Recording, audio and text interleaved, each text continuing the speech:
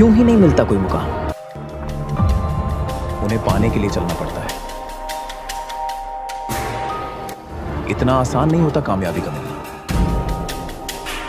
उसके लिए किस्मत से गुजरना पड़ता है I grew up in an environment where if you had an idea, your boss or your manager politely told you, and sometimes not so politely, that you need to gain some experience before you open your mouth.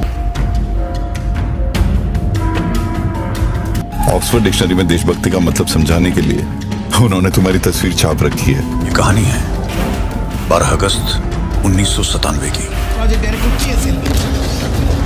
सबको लगता है कि liquid engine मेरी वजह से fail हुआ है लेकिन सच तो यह है कि मैं आपकी वजह से फेल हुआ हूँ। पचास साल में किसी सरकार ने कोशिश नहीं की।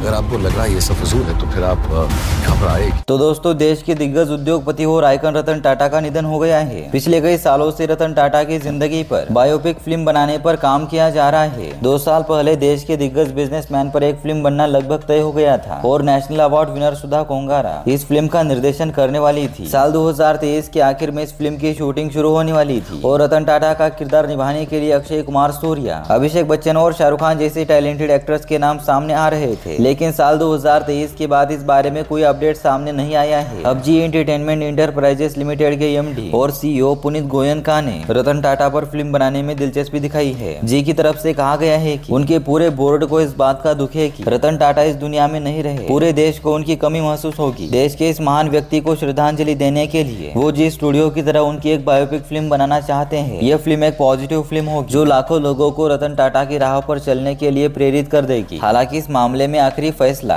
टाटा सन्स का होगा। ये एक कमर्शियल फ़िल्म होगी। या फिर डॉक्यूमेंट्री ये अब तक स्पष्ट नहीं हो पाया है। वैसे आपको क्या लगता है की रतन टाटा के रोल में कौन सा एक्टर फिट रहेगा? कमेंट करके ज़रूर बताना। बाकी अगर आप भी एस आर के डायहाट फ़ैन है तो ऐसे ही शाहरुख खान से रिलेटेड हर एक अपडेट के लिए हमारे चैनल को सब्सक्राइब करें।